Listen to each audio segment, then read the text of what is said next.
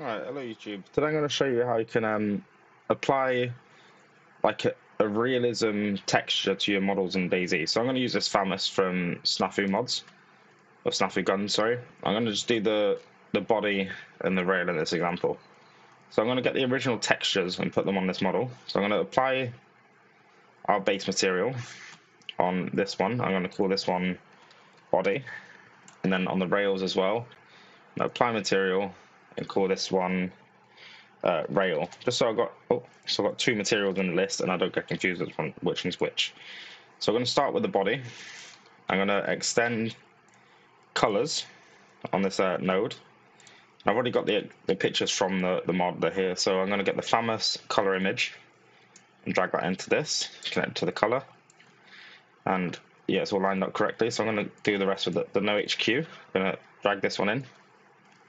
And I got to change this from the color space from sRGB to non-color for the no HQ and the SMDI. And we're going to extend this uh, normal and bump, connect the no HQ to the no HQ part and turn the mix up. So it gives it the, the detail and the, the, texture and stuff like that of the original model. It's still too shiny, so we need the SMDI for that. I'm going to minimize these two, just so that it's a bit tidier here, because the SMDI is sort of go in the middle of them both. I'm going to minimize that, extend the surface and shiny, and we need the SMDI input for that. So I'm going to drag that in, put it here, color space to non-color, add the SMDI. So there's the body part. We're going to do the same for the rail now. So the color, this one, and to the color, minimize, surface and shine. We'll do the s and SMDI next. Uh, non-color, s and SMDI, minimize, and then the no HQ. So non-color, no HQ, no HQ mix. There you go. So we've got the free, we've got the gun, how it looks in game inside the blender. So we're going to add a texture just to the main gun for now. And we're going to um, keep all the detail, like all the scratches and these little faded parts. It's going, basically to be this, but with like a faded realism pattern on there. So it looks like it's actually realistic, not super colorful and bright and in your face. So I'm gonna go to this website here. It's called freepik.com. What I've done in the, in the search bar is I search for large seamless pattern. So these images will like be able to tile next to each other and wrap around each other, and like without any weird seams. Hence the name seamless. So I'm just gonna find the random picture. Do you know what? It's it's not even gonna go anywhere. So I'm just gonna click this one. This one's fine. So I can't get this one because it's a premium image. So if I go back, you can see got a little crown on them. That means a premium. And this one hasn't got a crown on it, so I'll use this one. I'm going to click download. This attribution is required. I don't know what that means. That means tell them where I got it from. Attribution, how, when, and where. So I got it from freepik.com today, and how I got it is I click this button here. I downloaded. There we go. I've done my attribution. You can't sue me. So it comes with a bunch of images. I just want the JPEG image from there, though. I get a JPEG, drag it, Alt Tab, drag it through Blender, and let go. So this is the image. I'm going to connect this to the. Oh wait, first of all, you need to get this because it's going to helpful. Go to Preferences and you edit. So uh, sorry, that's too quick. Edit Preferences. Go to Add-ons and search for Wrangler. W R A N. Search for RAN and enable Node Wrangler. And now when I click on this image, if I hold Control Shift and then click it, it'll automatically apply it to the part. Oh, I've done it on the wrong part. I meant to do it on this part, but it's okay. But it'll just show you on the model exactly what that image there does look like. So I'm gonna put that back on there. I'm gonna do it on this one, on the base one. I'm gonna keep the rails as they are. Might add a bit of color later, but um, yeah, make sure you click on the correct model when you do it. Drag the JPEG in, Control Shift click. See that that looks a bit all over the place. It didn't look how good as I thought it was going to look. So first thing I'm going to do uh, control T with the image select this one. It's got that white box around. Press Control T and this will pop up. I'm going to get this generated one connected to locate the vector there. So from generated to vector.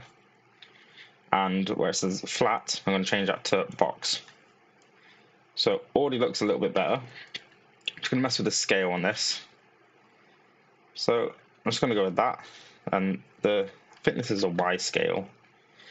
Yeah, so I'm just going to mess with that until that looks a bit better as well. Not going to be perfect, this is just a quick tutorial, but say you want that pattern on your gun, but that there on its own just does not look like it's meant to be on the gun. It looks forced. So we're going to manipulate this color image here. So if I preview this, it's just the the color image that came with the gun. And as you can see, it's got like, luckily this image actually, so it's a good image. It's all black and white, so it's very easy to use. But we're going to add a ramp, a color ramp in here now. So as you can see, we're currently previewing it to this surface, just straight image to it. So I'm going to shift A on that line and search for a ramp. And when you drop the ramp, make sure this line that's connected to the surface is highlighted like this. And then you want to manipulate this so they're close together like this. And basically all the black parts are going to be where the texture is and all the white parts are going to be the original texture of the model. So I'm going to start with like that as a little baseline for now. No, not not drum and bass or anything like that, just the base texture I meant to say. And then on this part, we're going to add a mix color node. So search for a mix color. Again, when that line's highlighted, you can drop it like this. We're going to connect this to the factor. And then I'm going to change so like is that red? Yeah, so the red one is the original gun color. So from this image straight to the red bit. And then this one here, the A, is from the this pattern image here. So I'm going to connect that to A. And control shift click on there to preview it. And you can manipulate this a bit more to get kind of a better texture. It's the wrong way around, I believe. I'm going to zoom in so I can see a little bit better. So Put that over there. Drag this down a bit more. No, it's definitely the other way around. So see, the more black it is, the more the new pattern is, the more grey it is. So that there looks like it's like a worn version of it. Turn it up a bit more. It looks like it's slowly getting worn down. So like you just manipulate it until you get that worn effect on there. So then this is now the new color image. So I'm gonna drag these over this way and connect this into the main color of the node. We preview that. As you can see, it looks like it's part of the model now. And if you really want to um, make this bump and stuff like that, you can do. It's just, it's not always going to be perfect, but I'll show you how you can do that. So we're going to get another, me move these two down out of the way a second. Actually, no, move that one back up because we need to extend this normal and bump. So we're going to create a new ramp node in this height map. Shift A, search for ramp, put that there. And from the pattern image, I want to, in fact, no, from this image, I want to connect that down into the color ramp. I'm going to control shift click on there to see what this looks like. So all the white parts are the bits that are going to bump out. So I want to drag that down like this. So only the, the eyes, uh, I'm going to say the eyes, that's what they look like to me, are the white parts. So I'm going to drag this now into the height map. Preview this by control shift clicking it again. And there's no change at the moment. But if you turn this height map up now, you can see it adds like a kind of like a little bump to it. You can change this down if you want to make it more like this. So it kind of looks like it's been painted on with some like, some hard paint. And if it looks pixelated, like it see it's like Minecraft steppy blocks, you change this linear on the, the pattern image to cubic and it should make it look a lot smoother, not cubic, sorry. So smart on this one. Okay, not on this image. This one doesn't work. But if it does look bumpy, that, oh wait, hang on a second. It's from this image, I believe. Smart. Yeah, so it gives it.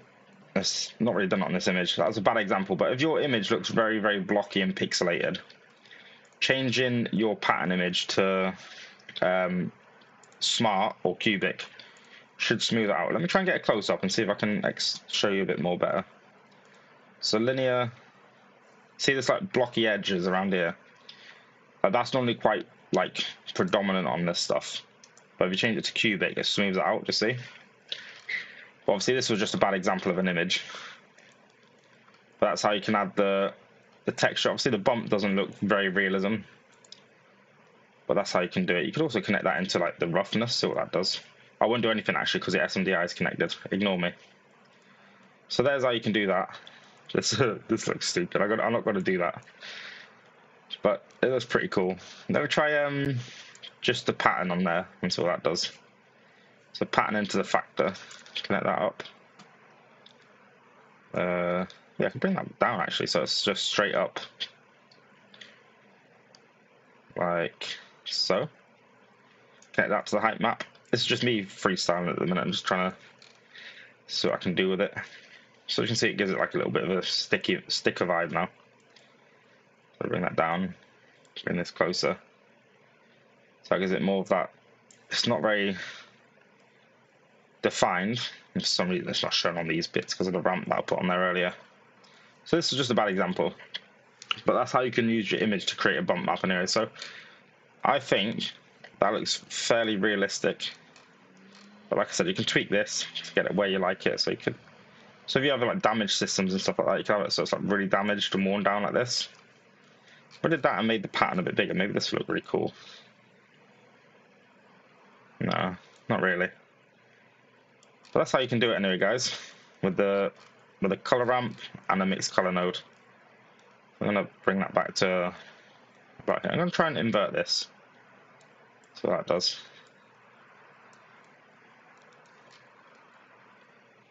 It definitely looks better the other way, doesn't it? But you can do a lot with color ramps, guys, just so you know you can use them as masks, as I've done with this, and it's brought a pretty, pretty detailed look. And if you didn't even want a pattern, you could disconnect the pattern from here. Oh, the right, disconnected the wrong one. Control Z. Disconnect the pattern and just pick a base color for your gun, which works as well. It makes it look more realistic. And again, adjust this to to your liking to where you want to look realistic and such. So just with this ramp from the original color into a, a, the factor of the mix node. So how the factor works as well, let me just explain this the best I can how I do it. I connect the factor to the factor and then I connect the color to the, the, the original color that I'm using to the B. So factor and B. So if I put that there, no, that didn't work. So I didn't explain anything, but A is the A is the color that you pick to put over the top of your gun. So you can have like a white FAMAS. It's much simpler way to skin your gun and make it not look too crazy in game. And that was a long 12 minutes. I hope I hope that helped you guys. but I'm gonna cut that back up. The weird eyeball one. I'm gonna go the eyeballs. There you go, guys. A nice realistic approach to reskinning your models. I hope that like I hope you liked it. Sorry this video is a bit all over the place. I, I do admit I'm a bit poorly, but I thought I'd make this video for you guys because it's something I like to do, and I don't I haven't really shared this before. And I'd love to see more guns like this, the realism look in DayZ. So if you like this video, please leave a like, and if you haven't subscribed yet, subscribe because every time I get a stupid idea, I want to share it. That's exactly what I'm going to do. I'm going to put it straight on YouTube for you guys so you can learn as I learn.